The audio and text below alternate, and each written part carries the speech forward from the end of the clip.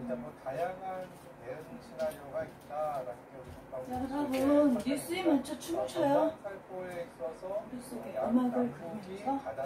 상대방을 향해서 살포했을 때 받아들이는 어, 어느 쪽이 좀더 앞둘 것인가라고 봤을 때는 이게 진짜 보면 운동이 필요해요. 집구석에서도.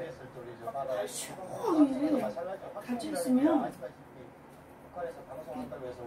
미친 건 아니지만 미친 애들 춤도 추고 그래야 건강이 좋아요. 오히려 여기서 문제가 되는 게 전남 살건데 지금 북한이 아예 공개를 했잖아요. 지금 1년에 자 1200만 어디 가서 춤을 추겠어요 요즘에. 있다. 길에서 춤을 출 수는 없으니까 다음엔 길에서도 추어볼까 합니다. 큰 기구를 이용해서 길에서 중성도 춤추면 끌려가나요?